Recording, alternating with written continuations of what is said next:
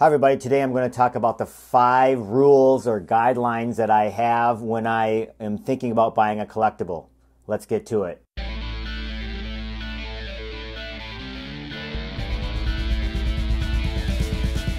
So, a lot of people ask me, you know, should I buy this? Should I buy that? And uh, it's always difficult because, you know, it's your own budget. What do you like? You know, where are we in the life cycle of that particular collectible? And so um, I have these five rules that I think about. Um, and uh, I've done it for so long, I almost kind of do it intuitively. But let's go through them.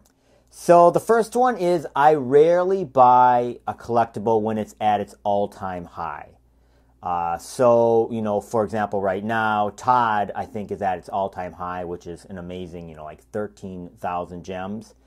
And so it's probably going to go up from there, as we know, but I would not buy it at this price point.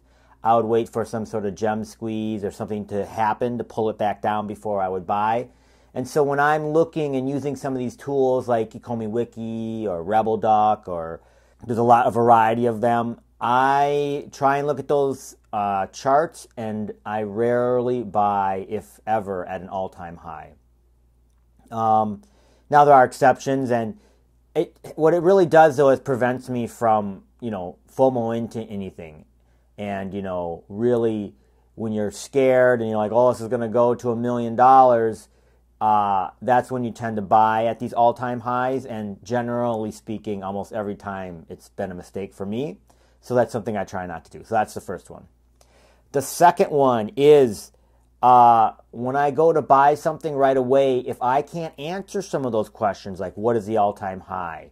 What is the price action over the last seven days? Uh, that tells me I need to do more research. So the second one I have for you is make sure you analyze that collectible and understand the price action. I have you know a couple of those questions that I want to know is you know is it an all time high and um, do I is there something coming soon, like another huge collectible that would cause a gem squeeze, so that particular collectible would go down? I ask all those questions and I do my research before I buy. Uh, whenever I am looking at something that's going to drop, if I I try to look at other drops that have happened with the same mint number in the past and try and guess maybe at what I think a price is going to be and I rarely buy within that first 24 hours. And you've heard me say that before because prices are inflated, weird things happen. So, something to think about. Do your research. The third one, I want to know how this particular collectible fits in. In other words, is it a first appearance? Is it a first edition? Is it part of a set? And is it the um, key pivotal piece of that set. So often the most rare piece. So for example, if you look at the Mighty Marvels, uh, you know, the Captain America one, the Red Skull is, you know, the kind of most rare and pivotal piece of that set.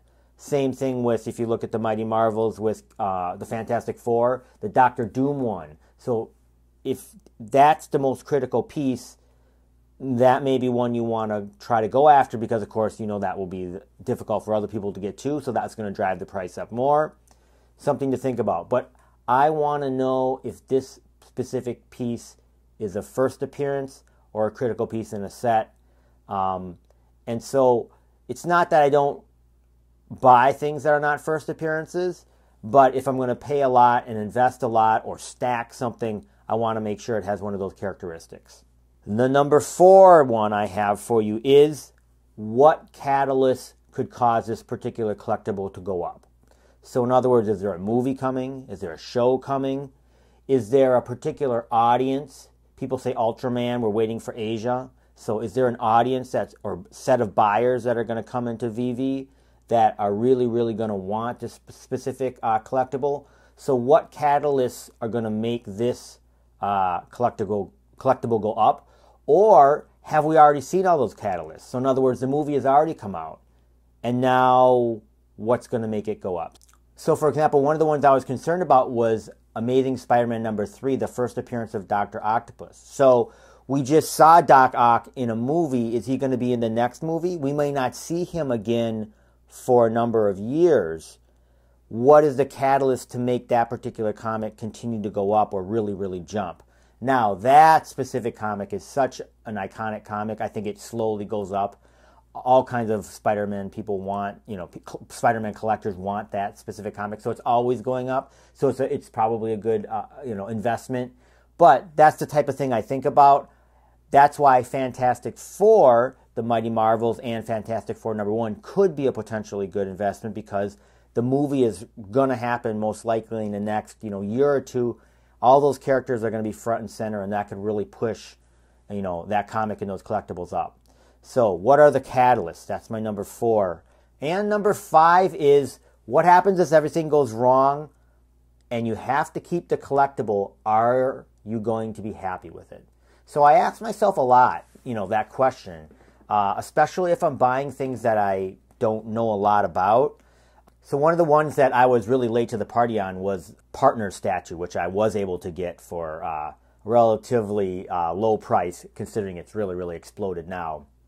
But um, when it came out, I didn't buy it. I didn't get it on the. I tried for the drop. I didn't get it on the drop, and then I waited maybe a week or two before I purchased it. People that I knew that influenced me in terms of you know convinced me basically that this is a good investment. But I'm not a person who knows a lot about Disney. I've been learning a lot about it and totally I'm beginning to understand some of the fandom that is around it. But I asked myself, if I spend a bunch of money in this and I can't sell it later, am I going to be happy with that? And I was because it's such an iconic piece, and uh, and even if it didn't, you know, go like it has, which is it's literally exploded. I think it might be 40,000 gems at this point or something like that. You know, completely amazing. I would be happy to keep it. It's an incredible piece. Now, the ones that I did buy from those golden moments that I would have kept forever anyways were the Star Wars ones. I'm a huge Star Wars fan. Elsa, I like Elsa. The, the Mickey hat, all those Avengers logo, Iron Man, all of those I would have been happy to keep, and I actually got was able to get a lot of those. I only got one on the drop, which is C3PO. All the others I had to buy in the secondary market. Luckily, all those have really gone up in value. But that is a question I always ask myself. If I buy this particular comic or collectible and I get stuck with it, am I going to be okay with that? And sometimes the answer is no. And so sometimes I actually don't, you know, I don't, I pass on it. I don't get it. And so those are the five things that I have for you. Um, I definitely think about those five things when I, before I purchase something. So I encourage you to do it.